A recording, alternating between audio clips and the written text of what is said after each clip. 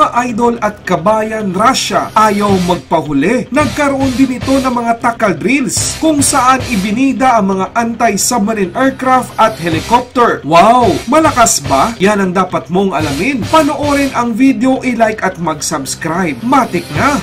Pero bago ang lahat, huwag kalimutang i-like at i-subscribe ang aming YouTube channel. I-hit ang notification bell para kayo ay ma-notify sa mga bago naming mga video uploads. Maraming salamat!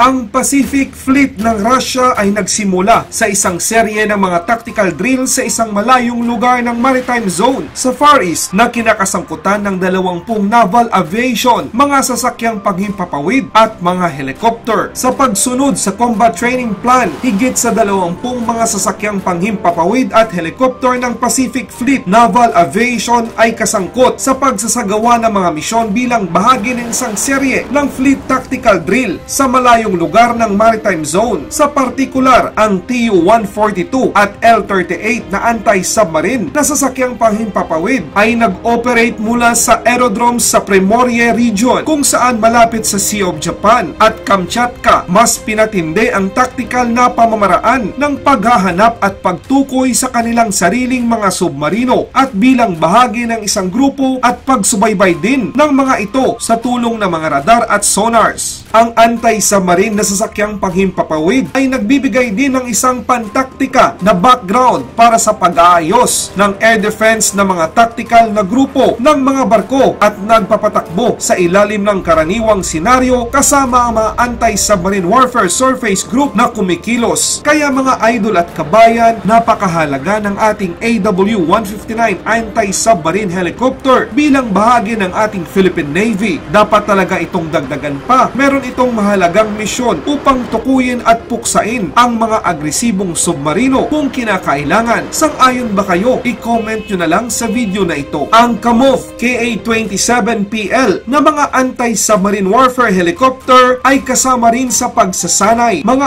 idol at kabayan ang Estados Unidos at Russia ay madalas gumawa ng mga drills kung saan ipinapakita nila sa buong mundo ang kanilang mga puwersa. Isa itong taktika upang ipakita sa ibang bansa kung anong lakas meron sila. Alam nyo ba na ang Russia Pacific Fleet ay mayroong taglay na lakas ng 50 mga warship at 23 mga submarines. Maraming salamat sa inyong lahat ang tagahatid ng balita at tagapaglingkod. Good News Philippines. Mabuhay ang mga Pilipino, mabuhay ang Pilipinas. Laban Pinas